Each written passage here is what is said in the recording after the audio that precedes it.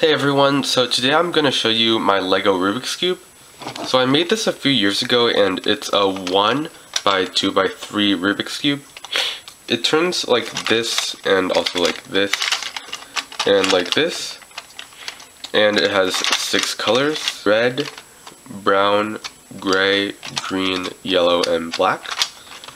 So looking at the mechanism, you can see it's made entirely out of Legos.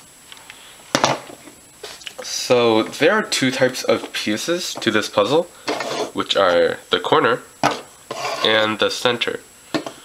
So corner looks like this and it's fairly simple.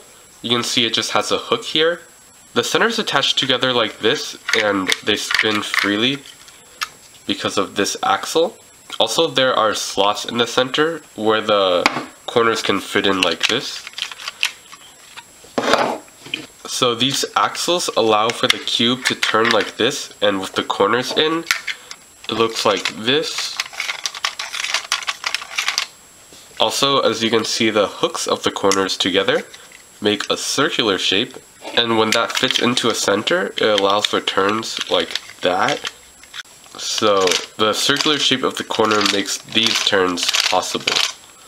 So solving this puzzle is pretty simple and you can usually solve it just by turning randomly.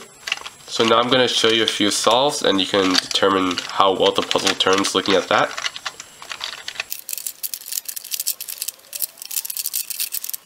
Okay, so three, two, one, go.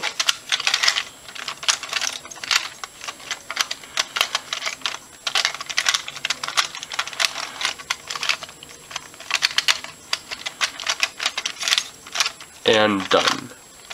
See all the colors on each side are the same. So let's do another. Okay, three, two, one, go.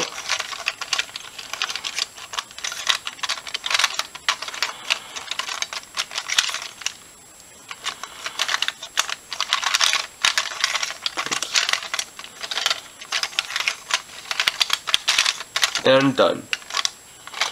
So you can see those solves are pretty simple and this is a pretty fun puzzle. So if you want to know more about this puzzle or if you want a tutorial then just leave a comment in the comment section below. So thanks for watching.